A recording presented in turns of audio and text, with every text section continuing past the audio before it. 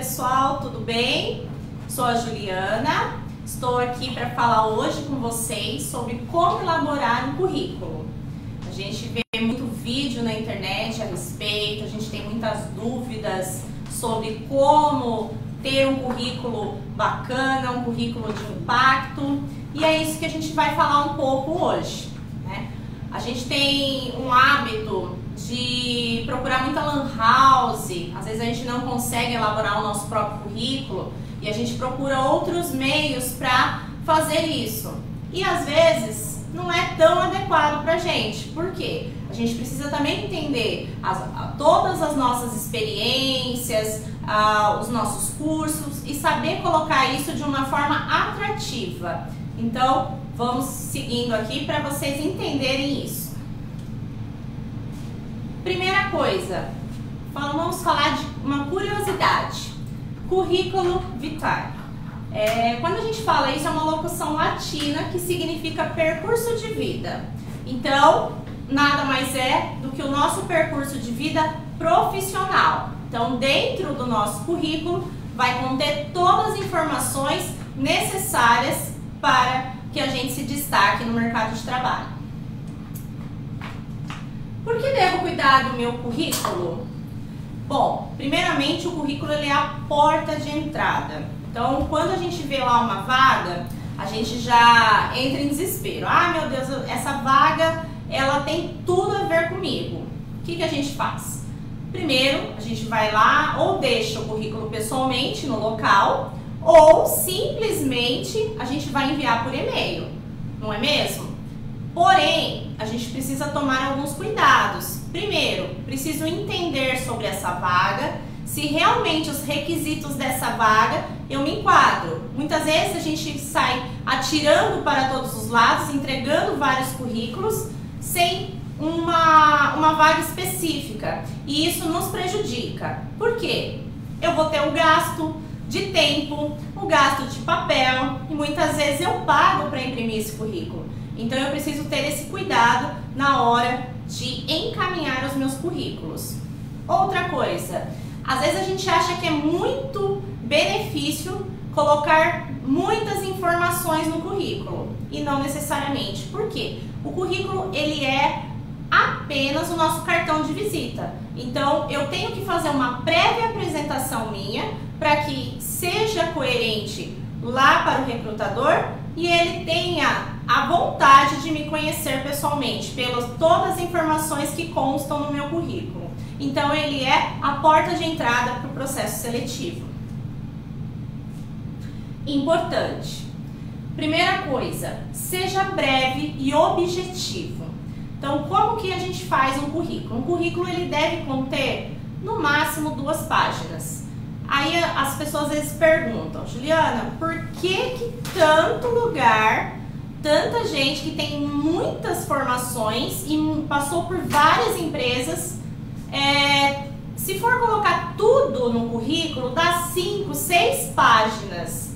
Pessoal, cuidado, porque fica cansativo. E muitas vezes a gente não tem tempo hábil para ler currículos muito estendidos. Então é melhor a gente resumir de acordo com aquilo que a vaga nos informa. Então, exemplo, se eu estou mandando, fazendo um currículo para minha vaga administrativa, não necessariamente eu preciso colocar outros lugares que eu trabalhei que não sejam da área administrativa. Isso para quando eu já passei por muitas empresas. Então eu crio, eu tenho que ter vários currículos com objetivos específicos. Isso nos facilita. No caso de quem já teve muitos empregos e muitas experiências, relacionadas a determinados temas. Tudo bem? Então essa é uma dica muito valiosa. De, enxuguem o seu currículo da melhor forma possível, que ele fique em duas páginas ou uma página, dependendo do seu da quantidade de informações que você tenha. Seja criativo. É muito importante a gente ser criativo. E às vezes, aquele currículo que todo mundo faz, não é o melhor indicado para a gente. Então a gente precisa começar a pensar qual a melhor forma de eu mostrar para o mundo, para todos que eu estou enviando o meu currículo para os recrutadores que eu sou diferente. Não estou dizendo para ser currículos extremamente é, fora do padrão, não é isso. Mas sim eu pensar em como colocar as informações, uma formatação bacana e deixar ele mais atrativo. Lembrando que várias agências trabalham com alguns softwares que fazem a seleção. Então, se eu ilustro demais o meu currículo, ele pode não ser visto na hora pelo sistema. Então, ter esse cuidado. Para quem é profissional da área de design, o que é bem interessante, aí sim precisa ter um portfólio, né, endereços, que, que mostrem os seus trabalhos de outra forma. Tudo bem? Posso utilizar infográficos no meu currículo? Então, primeiro vamos entender o que, que é o infográficos. Hoje em dia, a gente tem uma gama de softwares que a gente pode trabalhar a nosso favor para que a gente tenha um currículo extremamente é, criativo, principalmente quem já está voltado à área de design. Lembrando que a linguagem infográfica, ela, ela tem gráficos, ela tem mensurações como se fossem desenhos. Então, são pequenos gráficos mesmo. Então, só para a gente ver aqui como que é um modelo, um modelo exemplo. Esse é um modelo, ele está em inglês, tá? Mas já existem muitas pessoas utilizando. Então, a gente vê várias, é, vários desenhinhos e a, e a parte gráfica dele é muito diferenciada de um currículo padrão. Então, isso faz com que o seu currículo se torne bem atrativo. Mas lembre-se, ainda assim, eu preciso analisar se para aquela vaga específica um currículo desse é válido. Tudo bem? Então, quando vocês tiverem qualquer dúvida, quiserem fazer perguntas, fiquem à vontade, a gente vai responder ao final. Tá bom, gente? Foto no currículo, colocar ou não? Essa é uma pergunta que muitas pessoas fazem. Juliana, eu devo colocar foto no currículo? Olha, se a vaga exigir, sim. Do contrário, não é preciso colocar foto no seu currículo. Lembrando, existem regras para se colocar foto no currículo. Muitas pessoas pegam fotos do Facebook ou do Instagram, diminui e colocam no seu currículo. Pessoal, não cometam esse erro. O ideal é que vocês tenham uma foto 3x4 bacana, que vocês consigam colocar, escaneie, enfim, faça a tratativa se for necessário no Photoshop e coloque ela que ser, vai ser com certeza uma foto mais adequada para o seu currículo. Tudo bem? Uma foto da balada, uma foto do meu dia a dia, de momentos de lazer, não, nunca devem ser inseridas no meu currículo. Isso mostra também a minha seriedade.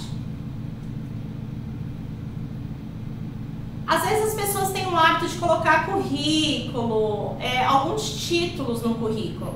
E na verdade, o currículo ele está fazendo uma venda do seu, né? Então, sua. Então, o que, que acontece? O mais indicado é colocar o seu nome completo. Outra, outra dica muito importante é na hora de salvar o seu documento. Salve sempre o currículo de vocês com o nome completo. Por quê? Fica muito mais fácil para o recrutador localizar o seu currículo. Tudo bem? Então, são duas dicas valiosas. Primeiro, coloque o seu nome em evidência, em uma letra bem maior, né? Dependendo do tamanho do seu nome, claro e também salve o currículo, o arquivo com o seu nome. Não informe números de documentos, pessoal. O currículo é um documento de vocês. Porém, ele não precisa e não deve conter informações de CPF, RG, número da carteira de trabalho. Por quê? Vou explicar. Quando a gente vê uma vaga, seja em um site ou seja em algum local, a gente vai fazer o que? A gente vai entregar o nosso currículo vai enviar esse currículo por e-mail. Quando a gente entrega, ainda é mais fácil, porque a gente está levando pessoalmente naquele local que está pegando, né, que está contratando. Porém, quando eu mando por sites, eu não sei exatamente se é para aquela empresa que está indo no meu currículo. Então eu preciso ter esse cuidado. É, não colocar nenhum tipo de documento, tudo bem? Porque se, se, se esse seu currículo ele se perde dentro de um processo, você está com todos os seus dados lá. E é extremamente não recomendável isso. Tudo bem? Outra coisa importante, não anexar diplomas, nenhum outro tipo de documento também quando vocês enviarem por e-mail. Erros de português ou faltando dados. Então vamos falar primeiro do erro de português. Hoje em dia, é, em vários processos seletivos que eu já participei, várias vezes a gente pega, é muito comum, currículos com erros de português. Pessoal, é muito feio. Primeiro, mostra que eu não tenho um cuidado de analisar depois de pronto o meu currículo. Segundo, às vezes é só um erro de digitação, então comeu alguma letra, então isso às vezes é relevado.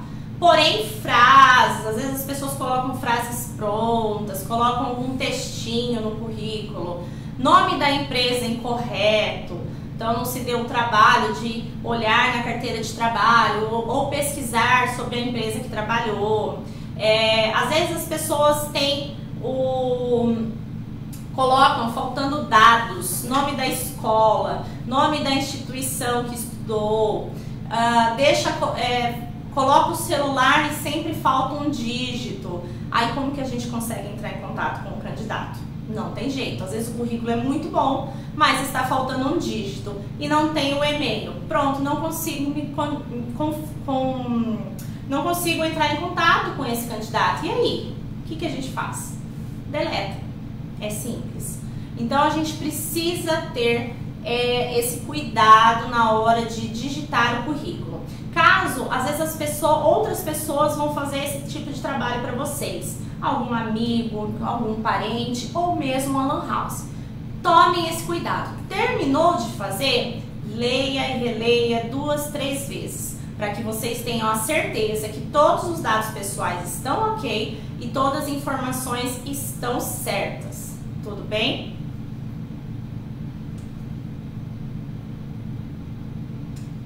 Às vezes as pessoas têm um, um costume de imprimir o currículo e assinar o currículo antes de entregar nas agências ou nas lojas, nos lugares, nos estabelecimentos.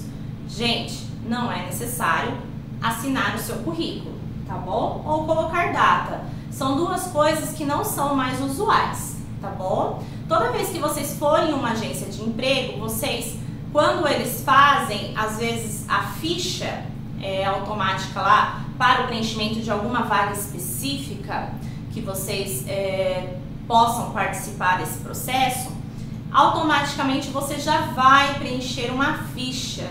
E essa ficha já vai ter o local para você assinar, que todas as informações que está contendo ali, elas são válidas, né? Elas são verdadeiras. Então, é de extrema importância eu não mentir durante uh, todo o processo nem na entrevista e muito menos no currículo.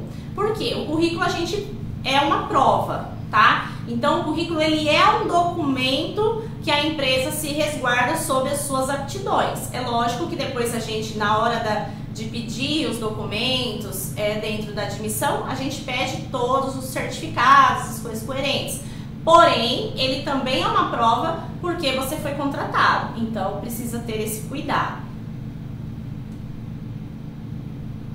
Formatação. Agora a gente vai falar da parte que é muito importante. Como eu formato o meu currículo? Às vezes as pessoas têm o hábito de fazer o currículo digitado muito rapidamente, não faz nenhum tipo de formatação. Quando vê a vaga no site de emprego, já copia e cola na área de trabalho. E aí? Não assumiu, não tem nenhuma formatação, ficou feio porque vou ter que imprimir diretamente. Então, assim, evitem, é, a, procurem anexar o arquivo. Caso, alguns casos, algumas empresas costumam colocar observações na vaga. Não aceitamos currículos anexados. Por algum motivo, o e-mail não aceita. Nesse caso, aí sim, vocês vão copiar o arquivo de vocês e colar no corpo do e-mail. Do contrário, evite. Simplesmente faça no Word, salve em PDF, não importa. Mas façam ele com uma formatação adequada. Juliana, que fonte é mais indicada? As fontes mais simples são as melhores e são as mais indicadas. Então, não tentem elaborar de mais letras.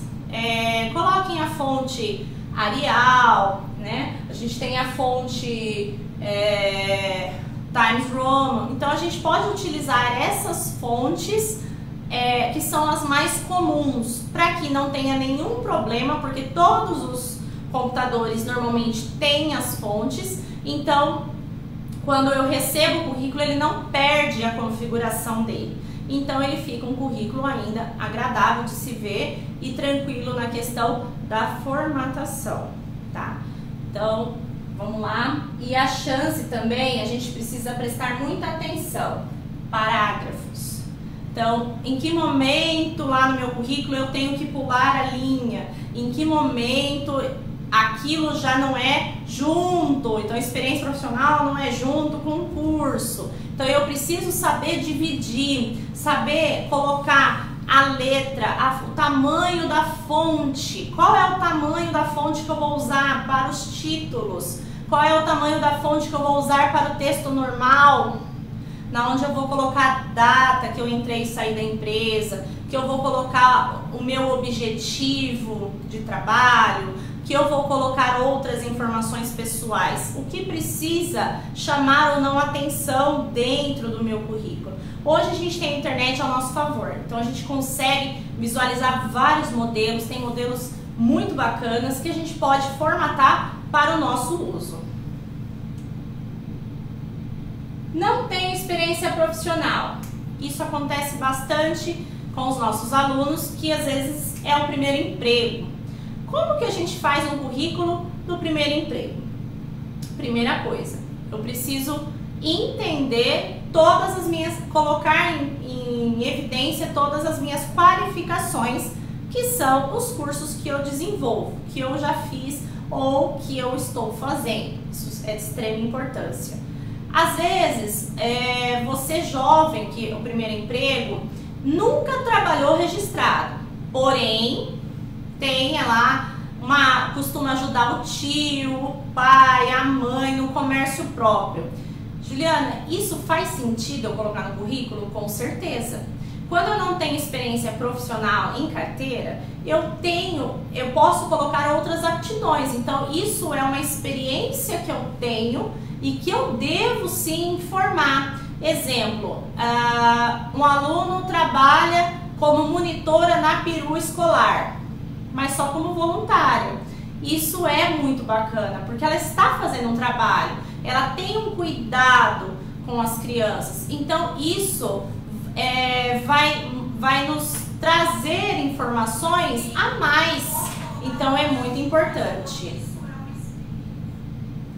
É, voluntariado. Muitos jovens, muitas pessoas que não trabalharam ainda, costumam às vezes trabalhar como voluntários. Gente, voluntariado é muito legal e é muito importante a gente colocar no nosso currículo, principalmente quando a gente não tem experiência. E mesmo que a gente tenha, a gente pode colocar e deve colocar. Porque dentro de cada tema, de cada lugar que a gente vai atuar, é, seja com contação de história, seja simplesmente eu vou lá ajudar no administrativo uma vez por semana em uma ONG, tudo isso ele agrega valor ao meu currículo. E o valor que eu digo é o valor assim, poxa, nunca trabalhou, mas olha que bacana, ela já sabe fazer tal coisa em equipe. Essa pessoa já tem uma vivência com relacionamento interpessoal, porque ela trabalha com crianças em uma ONG. Então, ela faz. Às vezes, aluno me pergunta: Ah, Juliana, eu trabalho na escolinha bíblica na, na minha igreja. Pode colocar, porque se já é um trabalho voluntário que faz, isso é importante. Mostra a questão da paciência, a questão do compromisso, do respeito com o outro e o relacionamento interpessoal. Então, é válido sim. Evite que a gente deve evitar nos nossos currículos?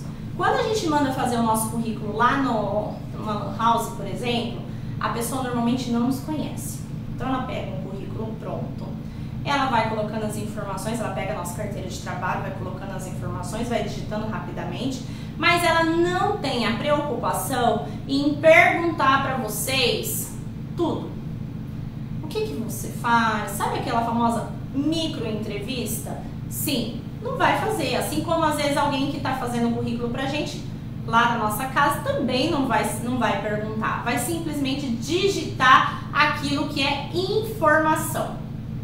E aí a gente deixa o nosso currículo faltando informações. informações que são importantes. E aí, às vezes, a gente vai lá e coloca coisas que não fazem sentido para um currículo. O que, que não faz sentido? Eu colocar algumas frases prontas. Eu vou dar um exemplo. Eu sou uma pessoa extremamente tímida. Aí eu, eu lá na, nas frases prontas tá lá que eu sou extrovertido. Faz sentido? Sou proativo. Não, mas a minha timidez não deixa eu ser proativo, eu não consigo. Não que eu não vá me desenvolver, eu vou, mas o meu currículo tem que dizer a verdade sobre mim. Então, eu preciso tomar cuidado, tá? Com isso, para que isso não afete depois na hora da entrevista, tá bom? Porque a gente vai acabar descobrindo na hora da entrevista as suas aptidões. Então tomem cuidado quando colocar esse tipo de informação ou frases feitas.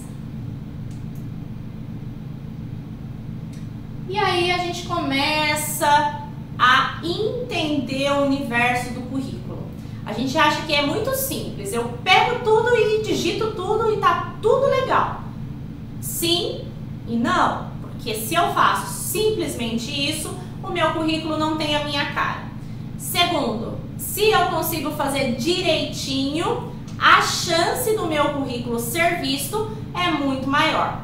Lembre-se, se eu já mandei 10 currículos que são referentes ao meu perfil, ao meu requisito, então eu atendo aqueles requisitos, e desses 10 não houve nenhuma ligação, nenhum agendamento de entrevista, parou, tem algo errado no meu currículo. Então eu preciso parar e olhar o meu currículo novamente, tá? Então assim, eu tenho que ter dentro de uma semana pelo menos uma entrevista marcada para mim entender se o meu currículo está legal ou não, tá bom? Mesmo com o mercado, às vezes que a gente sabe que tem os dilemas, tem os problemas relacionados aí a, a determinadas vagas. A gente sabe que às vezes tem vaga que chama muito e outras não. Então, lá no nosso currículo, primeira coisa, a gente vai fazer primeiro o nosso nome, conforme eu falei, como nosso título, ok? Depois nós vamos começar a colocar os nossos dados pessoais. O que é importante nos dados pessoais? Primeira coisa, eu tenho que colocar a minha idade. Mas, Juliana, eu já tenho mais de 50 anos. Se eu pôr a minha idade, ninguém me chama entrevista. Você concorda que omitir também vai dar na mesma? Por quê? Se, se durante o processo seletivo a, a idade vai ser um fator, por algum motivo, é, na hora que você for chamado para entrevista e que você chegar lá, isso também vai ser um impedimento. Então não adianta mentir. É melhor eu nem perder o tempo, não é mesmo? Então a gente tem que pensar, a pessoa está procurando, mas eu também não posso perder o meu tempo. Então a gente precisa ter isso muito claro. Para que que eu vou perder tempo em ir numa vaga que possivelmente não é não se enquadra com o meu perfil, tá bom? A gente também tem que dar valor a nosso, ao nosso passe, tá, tá, gente? Idade é sempre legal, principalmente vocês que são menores de 18 anos, colocar entre parênteses a data de nascimento. Por quê? Estou procurando estágio, primeiro emprego. Muitas vezes a gente precisa mensurar qual é a data que vocês vão completar. 16, 18, então é muito legal a gente ter essa data, essa informação. E às vezes acontece assim, a gente faz o currículo, coloca a idade e nunca mais mexe no currículo.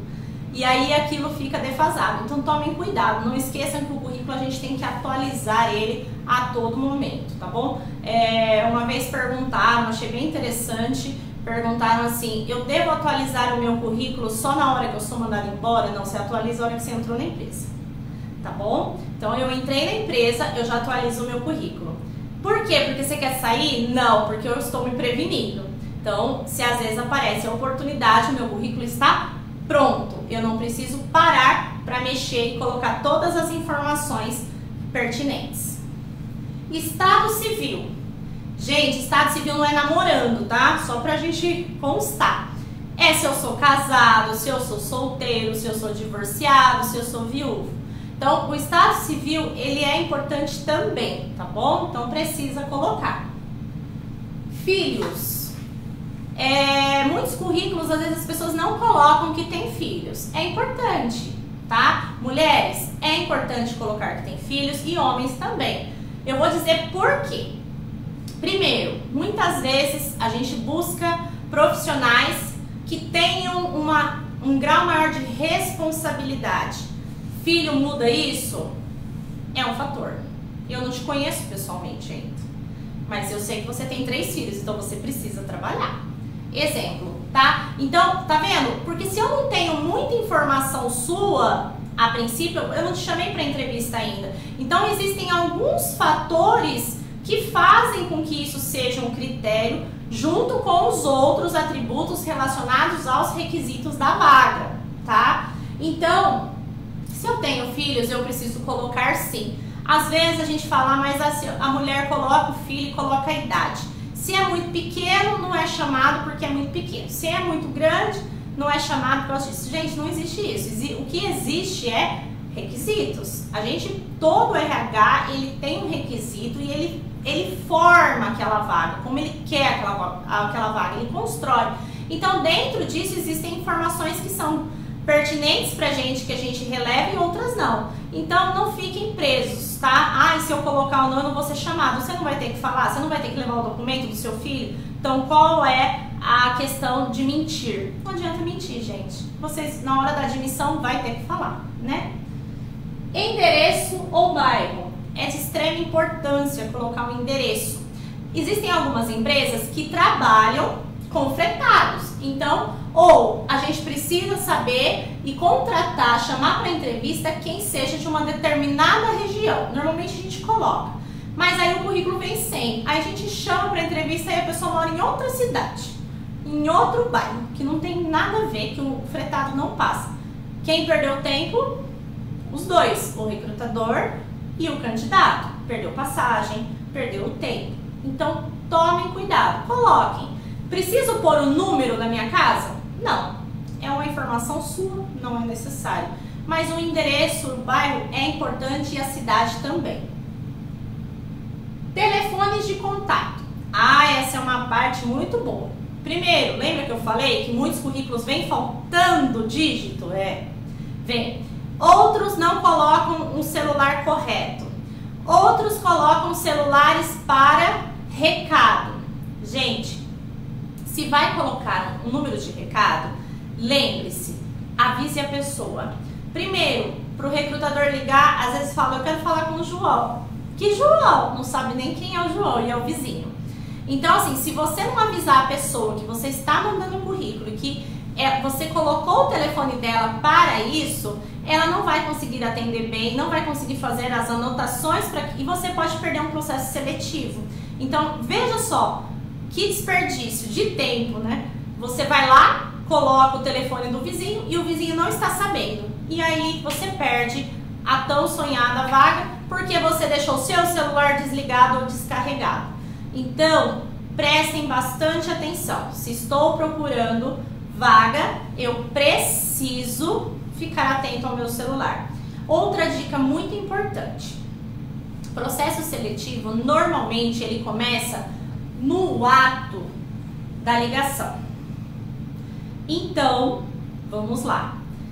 Cuidado na hora de atender o celular. A gente não costuma atender muito celular. Depois que inventaram o WhatsApp, a gente parou de usar tanto a questão do telefone. E aí o que, que acontece? A gente desaprendeu.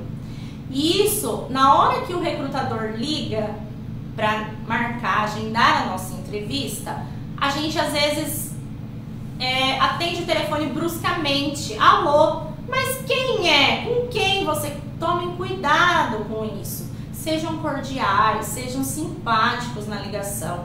Né? Eu sei que às vezes a gente não costuma é, atender muito, mas a gente precisa ter esse cuidado a partir do momento que a gente começa a enviar o currículo, tá bom, gente? Então é uma dica importante.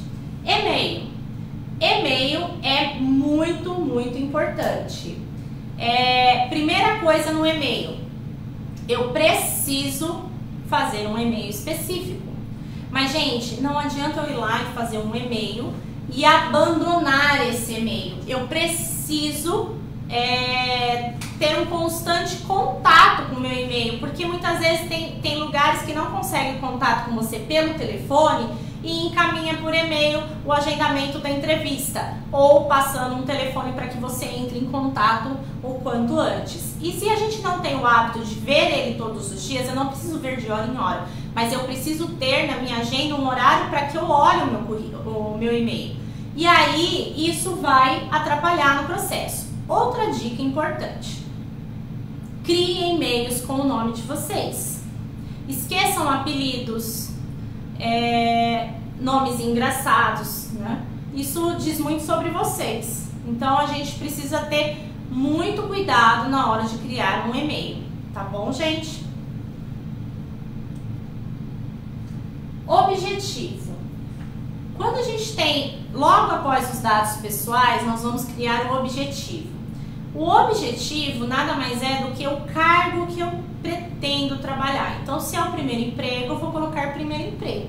Se for um cargo específico, administrativo, eu vou colocar administrativo. O que eu nunca devo fazer? Primeira coisa, colocar vários objetivos em um currículo apenas. Por quê?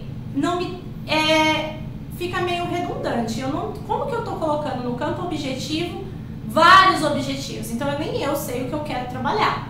Então tenham ciência que às vezes é preciso modificar o currículo a todo momento que for enviar a vaga.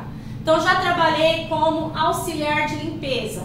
Então eu vou mandar para uma vaga de auxiliar de limpeza. Eu não preciso colocar vendas, operadora de produção, call center. Eu vou lá e coloco apenas auxiliar de limpeza. Se eu vou mandar para operadora de produção, eu coloco no objetivo operadora de produção. Então, tenham essa questão do objetivo como importantíssimo. Se é primeiro emprego, eu vou lá e coloco primeiro emprego, tá bom? Formação acadêmica. Gente, às vezes a gente pega currículo com formação acadêmica, outros currículos com formação escolar. Qual é a diferença, Juliana? A diferença é o grau. Então, se eu já estou na universidade, se eu já estou na faculdade, eu vou colocar a formação acadêmica e a informação importante. Qual é o curso, a instituição que eu estou? Então eu vou lá e coloco a instituição, o curso que eu estou fazendo e o ano de conclusão. Se eu já terminei, eu já coloco o ano que eu me formei. Se eu ainda não terminei, é de extrema importância eu colocar o curso, o ano ou semestre que eu estou cursando e o período. Gente, período nós temos três é matutino, vespertino ou noturno. Não inventem outras coisas, coloquem corretamente, tá bom? É, é muito legal a gente dar uma ênfase. Então pode pôr em negrito, pode colocar uma fonte um pouquinho maior no curso que vocês estão fazendo, até porque muitos de vocês estão procurando estágio, estão procurando algo na área de vocês. Estou no ensino médio, qual é a necessidade? Eu vou colocar o que? Formação escolar? Eu vou colocar o nome da minha escola, vou colocar o curso que eu estou fazendo, ensino médio, e o ano que eu estou, tá? Segundo ano, noturno. É importante colocar o período que eu estou cursando, porque se eu já terminei, eu vou pôr ensino médio completo e o ano de conclusão. Por que, que é importante eu colocar o período? Muitas vezes vocês vão achar vagas de estágio que precisa saber o período que vocês estão estudando para que ele possa ver se se enquadra dentro do horário da vaga do estágio. Então é de extrema importância. É, se você, o ensino médio é a mesma coisa, existem várias vagas de estágio referente ao ensino médio e eles não podem atrapalhar o seu estudo, então eles verificam, ah, é, é noturno, então se a vaga era tarde e noite, já não dá, mas aí se eu tenho uma vaga manhã e tarde, eu já consigo colocar esse, esse currículo. Então a gente começa a funilar também, tá bom? Então é muito legal e é primordial a gente colocar essa informação no currículo. Eu vou ver aqui com a Jéssica, tem perguntas, Jéssica? Já temos perguntas aí? A Jéssica está aqui comigo, nós somos parceiras aqui nas nossas palestras de comportamento. É, aqui online ainda não temos, porém eu tenho uma, uma pergunta aqui que eu anotei ao longo. É, eu sou separada, mas não no papel. No momento do currículo, coloco separada ou divorciada? Qual é o Você pode colocar como separada no currículo, porque você ainda não tem o documento de averbação do seu divórcio. Então você coloca como separada. OK? Deu para entender, gente? Ela está separada, ela não, ela não tem ainda nenhum documento que ela é divorciada. É importantíssimo a gente saber como a gente atualiza o nosso currículo, tá? Então vamos lá. Resumo das qualificações. É, a gente experiência profissional começar a pensar em todas as qualificações que nós temos, desenvolvemos ao longo dos nossos trabalhos. Então, o que, que a gente faz? É, a gente vai colocar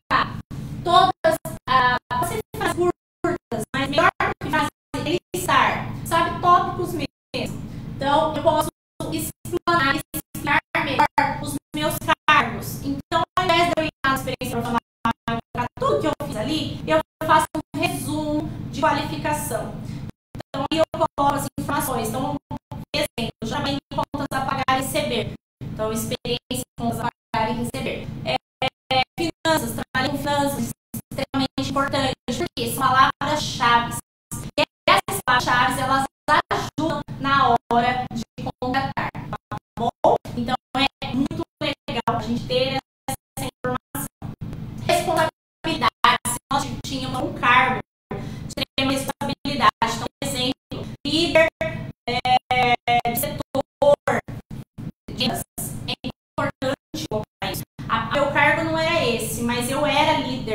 dentro da empresa, então coloque porque é uma responsabilidade que você tinha. Então, isso é uma qualificação a mais para o seu currículo. E na hora que você. Então, quando você for ser chamado pelo seu currículo, na entrevista você vai, ele vai perguntar, o recrutador ele vai perguntar para você. Fale-me mais sobre isso. Você era líder do setor? Como que funcionava? E aí você vai poder. Temos mais perguntas. Maria Luísa Silvestre Rodrigues, ela está perguntando. E se eu estudar no período integral, como coloco? Você, tudo bem, Maria? É, você vai colocar o período integral, tá? E lá no objetivo você pode colocar uma observação que você, caso você seja chamada para uma entrevista, você tem possibilidade de trocar o seu estudo, o período do seu estudo, tá bom? Porque às vezes você vai faz um processo seletivo passa, dá tudo certo e aí você já tem, mas é bom você já se precaver. Então, assim, você já verifica se na sua própria escola tem como mudar o período, tá bom? É, é muito legal isso e a família tem que estar a par, tá bom? Então, assim, é, tem esse cuidado também. Se for estudante que faz faculdade, aí não tem muito o que fazer, tem que arrumar emprego noturno e aí também tem uma carga horária meio puxada. Então, aí vai depender da, da sua disponibilidade para mudar de escola, para mudar de período, mas pode colocar tranquilamente, tá bom? Eu sei que muitas escolas agora, com esse novo plano do, do nosso governo, mudou para períodos integral. Então, assim, é legal porque vocês têm aquelas questões eletivas dentro da escola. Não deixem de colocar no currículo de vocês sobre todas essas oficinas, esses outros cursos que vocês que agregam dentro do conhecimento de vocês, tá bom? Qualquer dúvida, estou aqui. É, por que, que a gente está falando da qualificação? As palavras-chave. Então eu vou lá. Quando a gente faz, muitas vezes, a gente faz a triagem do currículo manualmente. Legal. Às vezes A gente posta uma vaga, dentro dessa vaga vem 500 currículos. Dá pra gente olhar todos? Não dá. Mas existem softwares, tecnologia ao nosso favor, que nos ajudam nessas questões para que faça uma triagem dos currículos recebidos. Não são todas as empresas que possuem esse software, mas algumas têm, algumas agências trabalham. O que, que esse software faz? Ele, a gente vai colocar a informação da vaga, a gente vai colocar todas as palavras-chave e de competências, qualificações que a gente precisa para selecionar o currículo. E automaticamente, se o seu currículo tiver essas palavras-chave, eles vão ficar à frente. Eles vão ser escolhidos para que a gente faça, é, chamem vocês para um processo seletivo. Acho que fica mais claro para vocês entenderem esse universo, tá? Então, a palavra-chave e a qualificação é muito legal ter. Juliana, eu não tenho experiência profissional. Como é que eu vou pôr resumo das minhas qualificações? Eu posso pôr resumo das minhas competências. Lembra que eu falei? Se eu faço outras oficinas, se eu participo de algo importante, voluntariado, eu tenho qualificações, gente. Então é a gente começar a usar a criatividade a nosso favor dentro do nosso currículo, tá bom? Para que ele fique extremamente motivador e que a pessoa realmente queira nos conhecer. Juliana, você está falando em motivador, motivação, aquelas frases motivacionais no começo ou no final. Pode ser colocado como é visto no momento que, que um RH pega esse currículo na mão? Olha, frases motivacionais. Então tomem cuidado. Uma coisa é aquela frase que a gente fala, coloco-me à disposição para uma eventual. Gente, não há necessidade disso tá? Currículo breve, currículo inteiramente objetivo. Objetivo. O que, que eu quero atingir com ele? A gente precisa começar a ver isso. Agora, se eu tenho uma frase que é um lema de vida para mim, posso deixar no meu currículo? Posso. Tá? Isso mostra um pouco de mim, mas não é necessário, tá bom? É, às vezes é mais legal você ter essa frase no seu e-mail, lá no, como assinatura sua, que é muito mais legal, então o que, que vai, o que que vai é, mudar muitas coisas relacionadas ao meu currículo? Muitas vezes o meu currículo está lá, objetivo, lindo, limpo, fácil de achar as informações, bati o olho, já vi tudo que eu quero daquele, daquele profissional. O que, que eu faço? A pessoa às vezes acha que vai viu a vaga na internet, vai pegar esse currículo e vai simplesmente mandar, anexar e não preciso pôr mais nada. Gente, cuidado com o corpo do e-mail. É muito legal a gente fazer uma breve apresentação no corpo do e-mail. E aí, lá na minha assinatura, eu tenho o meu lema: ter uma frase motivacional que me inspira. Aí sim, porque aí quando a pessoa pega o currículo, ela não vai simplesmente só olhar o anexo, ela vai ler o corpo do e-mail. Então venho por meio desse apresentar o meu currículo, estou à disposição para uma possível entrevista, entre outras frases que a gente sabe que existe, mas sejam vocês. Lógico, lembrando da linguagem culta para esse tipo de, de coisa, tá bom? Então, assim, é muito legal. De repente, lá no corpo do e-mail, quando eu trabalhei em agência, várias vezes eu chamava o profissional porque eu gostava já da introdução dele dentro do corpo do e-mail. Então, parem de enviar o e-mail cru. Simplesmente anexo a informação e não coloco nada no corpo do e-mail, nenhuma informação. Isso é ruim, tá bom, gente? Ficou claro, acho que para vocês. Aí a gente tem mais dicas sobre o resumo de qualificação. Dica: começar as frases com verbos de ação em primeira pessoa é fundamental. Então, construir, reduzir a taxa de cancelamentos dentro da empresa. Olha que legal. Eu fazia retenção de alguma coisa dentro da empresa e eu reduzi taxas. Então, reduzir. Eu não usei o eu. Reduzir as taxas. Quando eu uso o eu, olha o perigo de eu usar o eu. Eu me torno arrogante. Porque, quem, porque tudo depende de quem interpreta, quem está lendo é muito interessante. Exemplo, você trabalhou numa equipe. Nessa equipe, todos vocês alcançaram metas, metas conjuntas. Então, é de extrema importância colocar. Trabalhei, trabalhei com metas no setor, nosso setor, nosso setor sempre atingiu as metas indicadas. Nosso setor. Olha que bacana. Então eu começo a tirar o foco do eu, mas eu trabalhei em grupo. Não adianta eu mentir, porque lá no processo seletivo, se eu sou uma pessoa um pouco egoísta, egocêntrica, eu vou demonstrar isso. Então, coloque a verdade, tá bom? Mas evitem o eu. Coloquem mais voltado implantei ou implantamos, se não foi só você, tá? Mas muitas vezes o mérito é seu, então você tem que res, é, ressaltar dessa forma. Implantei um procedimento assim, assim, assim no setor para melhoria disso. Então não tenham medo de colocar essas informações. É, em caso a gente não ter nenhum tipo de experiência, você vai colocar o que? Aquilo que eu falei. Sou comunicativo. Posso colocar como lista de tópico no meu resumo de qualificação? Devo.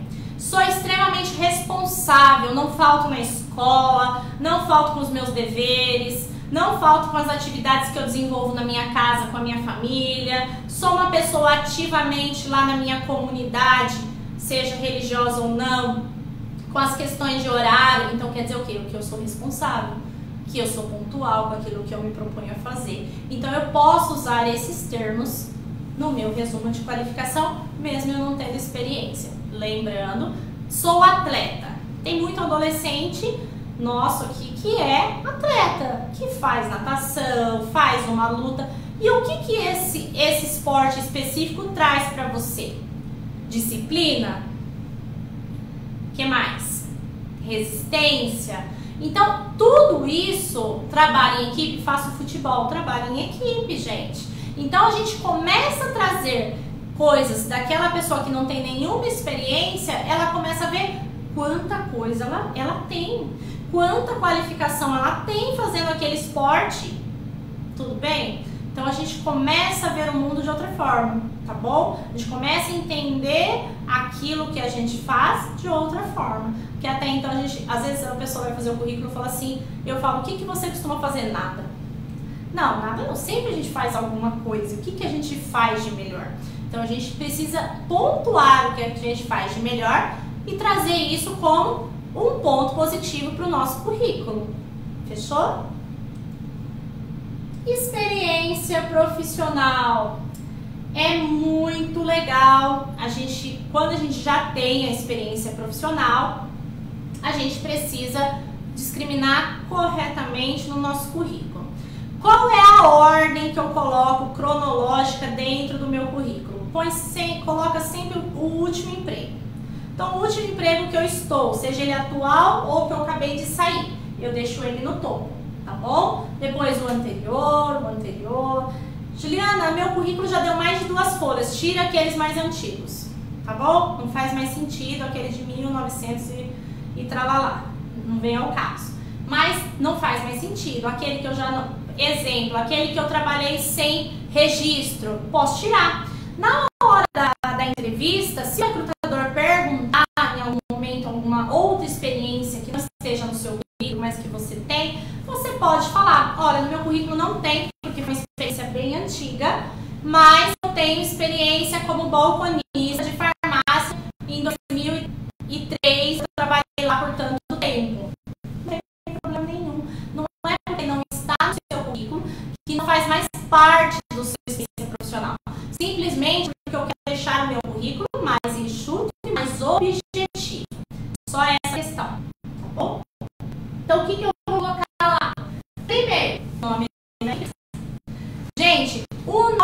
empresa é sempre um dilema. Eu devo colocar o que está lá na minha carteira de trabalho ou eu devo colocar o nome real da empresa. O que, que vocês acham? O ideal é colocar o nome real, o nome fantasia da empresa. Vou dar um exemplo. Muitas vezes uma loja grande, uma, uma empresa grande, ela não chama Renner, lojas Renner, ela tem um outro nome que é o nome, a razão social dela, tá bom? Mas se eu colocar a razão social dela no meu currículo, O recrutador vai saber da onde que é? Não. Mas se eu coloco o nome fantasia, automaticamente eu conheço. Ah, que legal, trabalhou nessa loja, fantástico. Vou chamar, porque de repente é para uma outra loja. Deu para entender essa questão do nome fantasia? Então coloquem o nome fantasia da empresa, tá bom? Às, às vezes coincide do nome da fantasia ser o nome da razão social. Aí tudo bem, tá bom? Cargo. Cargo é de extrema importância eu colocar. Juliana, dentro dessa minha trajetória nessa empresa X, eu tive vários cargos. O que, que eu tenho que fazer nesse caso? Eu coloco o primeiro, o último cargo que eu fiquei, então eu virei chefe de setor. Então, eu vou colocar lá cargo, chefe de setor. Tá? Mas antes disso, aí lembra lá nas atribuições, lá no resumo de qualificações, lá eu coloco tudo que eu fiz nessa empresa. Então eu coloco como tópicos. Então antes eu entrei como atendente, então eu tenho experiência com atendimento ao cliente. Depois eu fui para finanças da empresa, trabalhei no contas a pagar e receber. Eu não preciso citar em que empresa que eu fiz isso, mas eu estou citando toda a experiência que eu tive.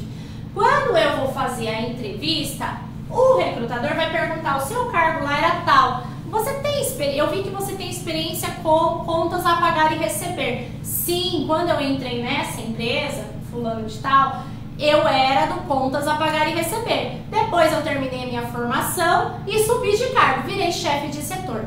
Deu para compreender? É muito simples. Na hora da entrevista, eu coloco todas as informações sem esquecer de nada.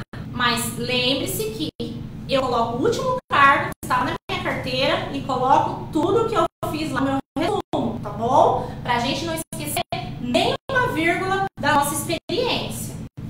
Período de atuação. Período de atuação é o tempo que eu fiquei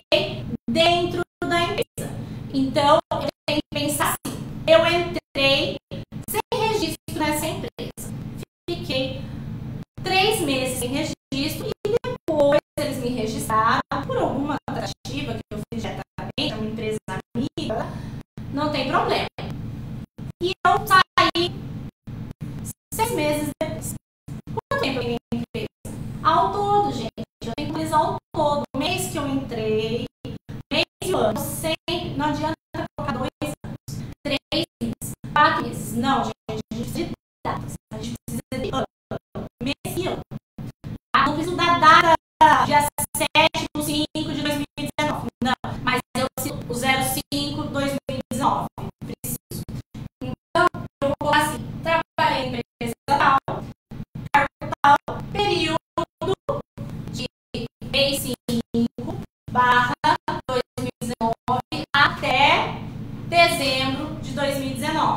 Exemplo.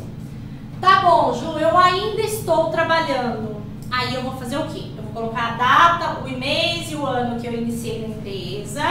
E lá no final eu vou colocar assim, a atual. Quer dizer o quê? Eu estou trabalhando. Então, se você se interessou pelo meu currículo, por algum motivo eu quero sair da empresa que eu estou, ou a empresa ela, ela vai ter uma, uma reformulação dentro dela e vocês já estão sob aviso que vão alguns funcionários vão ser demitidos. Então, a gente tem o direito de procurar o trabalho, tá bom?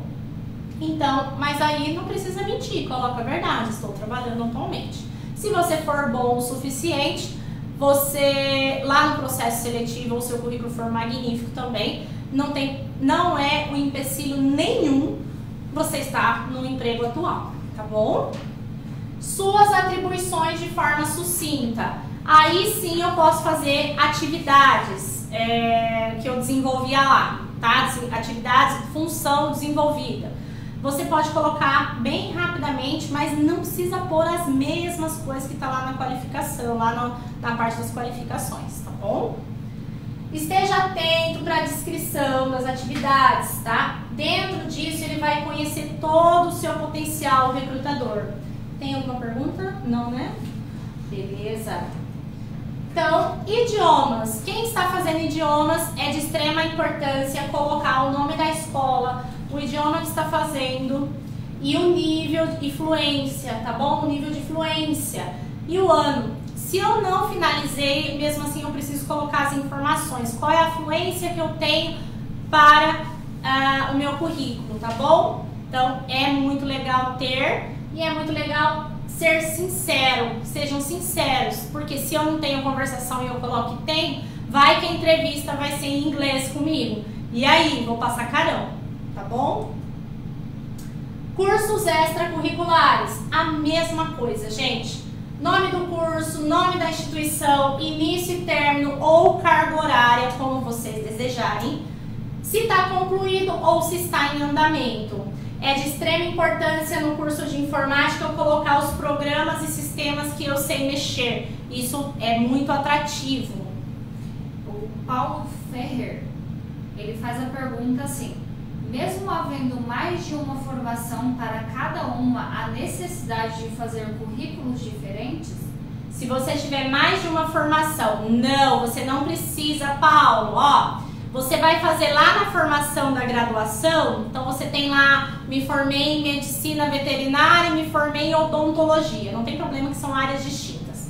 Você vai colocar o ano, a instituição, o curso e o ano que você se formou e o outro, a outra faculdade que você tem. Lembrando que é bem legal, vamos supor, se você quer entrar na área é, de veterinário, exemplo, mantenha só esse, tá bom? Pode tirar o odonto, por exemplo tenta colocar aquela que enquadra com aquela vaga que você está enviando, tá bom? Então essa é uma dica, tá? Mas se não, pode deixar as duas formações, então se você tem pós-graduação, você pode deixar junto também na, na sua formação acadêmica, tá, tá ok? Mais algum? A Fernanda Amaral Silveira, a dúvida dela é o seguinte, eu estou numa união estável, coloco isso no estado civil é bom fazer dois resumos e enviar um completo e detalhado e outro resumido? São duas perguntas. São duas diferentes. perguntas diferentes, tá? Fernanda, né? Fernanda. Fernanda, respondendo a sua pergunta. O Estado Civil, se você tem a união estável, você pode colocar, tá bom? Sem problema nenhum. Coloca lá a união estável. Agora, a questão do, do resumo de qualificação, você vai resumir de acordo com a, aquela vaga que você quer tá bom? Então, por exemplo, se você tem muitos lugares que você já passou, você faz bem resumidinho, ou você cria um para cada cargo. Então, você sempre vai querer trabalhar na área administrativa ou vendas. Então, você tem o seu currículo de vendas e tem o seu currículo voltado à área administrativa, para que não fique muito cheio, muito poluído o seu currículo, tá bom? Espero que tenha sanado a sua dúvida aí. Gente, então tranquilo, acho que até aqui. E aí, né, Uh, é muito legal a gente falar sobre isso. É um tabu essa questão do currículo, porque às vezes a gente acha que o currículo está muito bom e não está sendo chamado para nada. Então, é, pensem, revejam o currículo de vocês agora e qualquer dúvida depois de assistir o vídeo podem enviar para gente. Mais algum? Pode, pode falar a última pergunta. O Leonardo Alves, a pergunta dele é o seguinte: uma dúvida. Em questão do idioma, se eu estou frequentando, mas não sei como descreve se é básico intermediário ou fluidez, eu especifico só como cursando? Você coloca o cursando, tá bom? E é muito legal você conversar com o seu professor. Professor, em que nível de inglês eu me enquadro? Para que você consiga colocar e mensurar isso no seu currículo, tá bom? Aproveita o profissional lá, o seu professor, tira essa dúvida com ele sobre a questão sua é, de como tá, se você tá funcionando, tá no nível base, intermediário, ou é muito importante isso. Bom, gente, é isso. Eu coloquei uma frase bacana aqui para vocês. Suba o primeiro degrau com fé. Não é necessário que você veja toda a escada, apenas dê o primeiro passo, tá? Martin Luther King. A gente dar o primeiro passo. O primeiro passo para que eu arrume um emprego é um bom currículo. Tá certo, gente? Muito obrigada pela participação